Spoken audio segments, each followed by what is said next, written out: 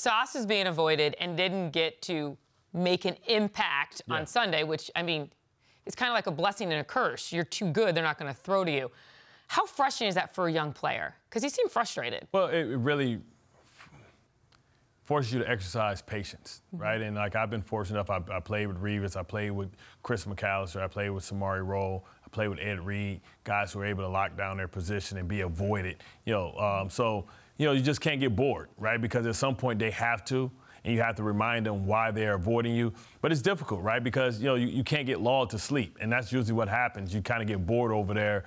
And what you have to do if you're opposing defense or your teammates, then they have to be able to utilize. Imp- I mean, look at these numbers. No, no, no, no doubt. Like Is this rookie? he's doing his thing, right? And, and he stepped in and he's earned a nickname. It's really you don't get to come in here and people actually call you a nickname when you come in unless you back it up. And he's backed it up and he's earned it and, and deserving of all the accolades that he gets. I'm just surprised and I'm always frustrated that DJ Reed's not there because how much was he targeted and how many catches did he give up?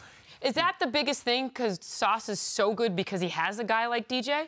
Well, Do you know no, what I'm saying? well, Like- DJ DJ has to be that good because if they're avoiding Sauce, that means that all the carry, that all the the throws are going to him. It got to go to somebody. And if he's been able to you know slow him down and stop him, then what does that mean? Like I said, I had Chris McAlister, Yep. Samari Rolle got it, but Samari Rolle was a Pro Bowler as well. Like Revis had Cromartie, right? So like I How think big of an impact, though, is he really making, even though he's not being involved? I mean, it's huge, right? Because it allows you not to worry about a position in the side of the field.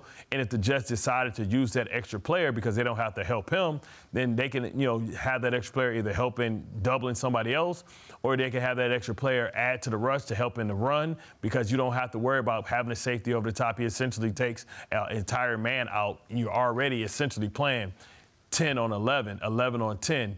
But then when you take him out, then now you're playing 10 on 9, and you just continue to take people off the field.